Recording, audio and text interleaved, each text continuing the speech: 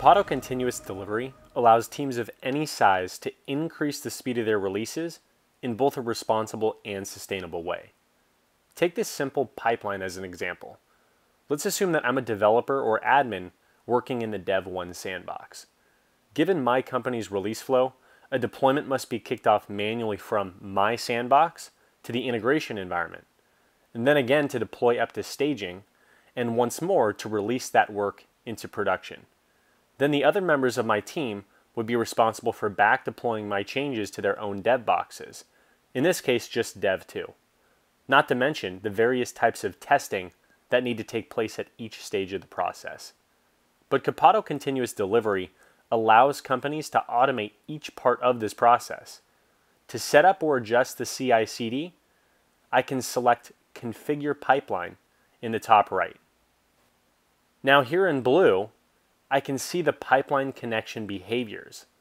Looking at integration, the forward arrow and the infinity symbol mean that all user stories that are deployed to integration will be automatically deployed up to the staging environment, as long as the appropriate quality gates are run and passed. And that is what the shield signifies. The backwards arrow and the clock mean that work will be back deployed on a predefined schedule. Now I'll click in to view this connection and its behaviors. Here, you can see how to determine the automation level for deployments moving forwards, backwards, and at the bottom, here are the list of quality gates that will be run.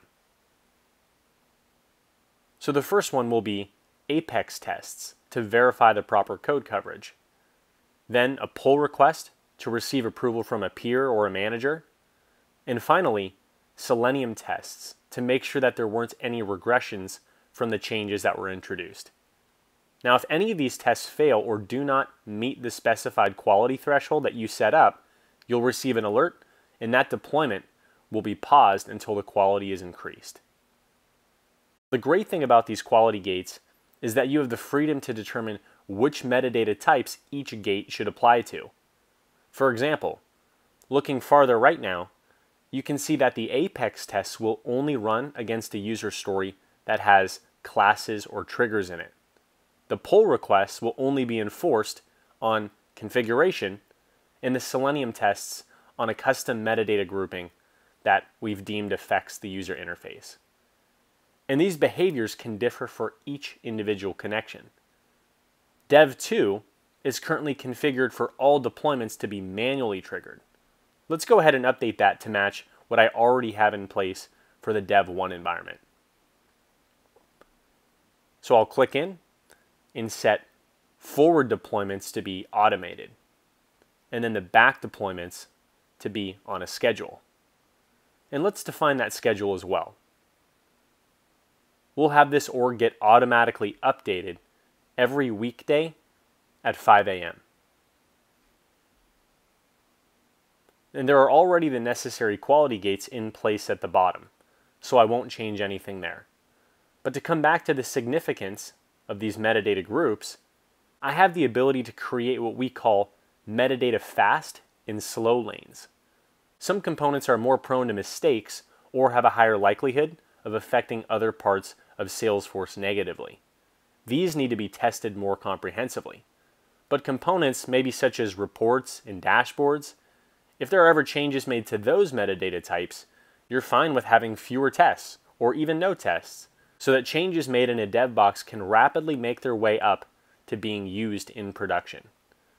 This feature offers you exactly that flexibility. Now, what does this look like in practice? Let's go through deploying a user story with only reports and dashboards in it. So here I have my story, and I've just finished committing the work that was assigned to me. To indicate that my work has been completed, I'll use the Submit button in the top right.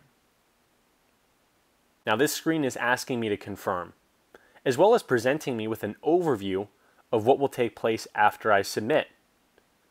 This story has no dependencies with any other user stories.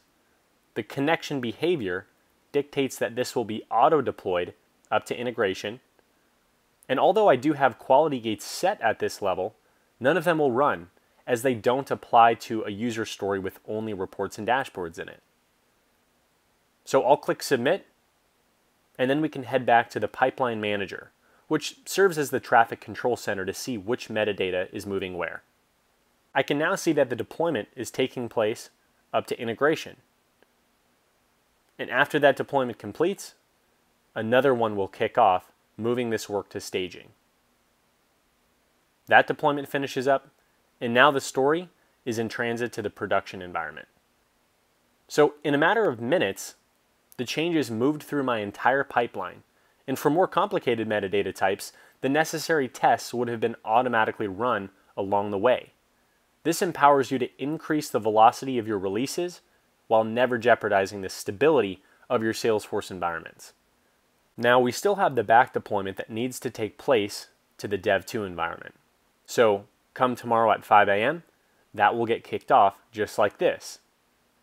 And now, Dev2 has been updated with all the latest changes.